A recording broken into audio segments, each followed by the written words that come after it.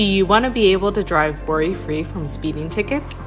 In this video, I'll show you the concealed radar laser system which will allow you to do just that. Here is the Radenso radar and AL priority laser jammers, which is a universal system that we modify to seamlessly integrate into each vehicle we work on. Starting with the front of the vehicle, this setup has three laser jammers that will prevent a laser gun from obtaining your speed from ahead.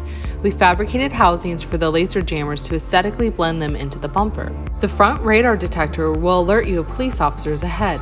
We attached the front radar detector to a fabricated bracket so if the system is ever removed, there would be no evidence that it was ever there.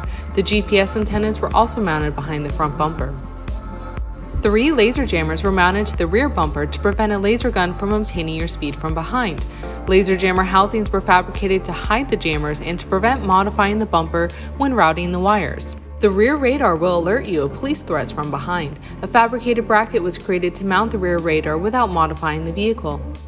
The factory overhead panel was modified in such a way that no permanent modifications were made to mount the display controller, and it can be returned 100% back to stock.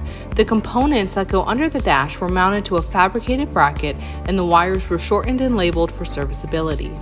Lastly, before and after our installations, we use laser guns to test the vehicles to make sure the laser jammers are working properly and are in the best location for maximum performance.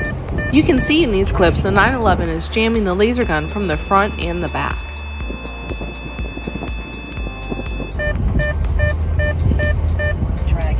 If you have any questions or want to get in touch with us, the best ways are either by giving us a call or sending an email. This is Becky from Automods in Sarasota, Florida. Thanks for watching and please subscribe to our channel and follow us on social media so you can keep up to date on all of our latest projects.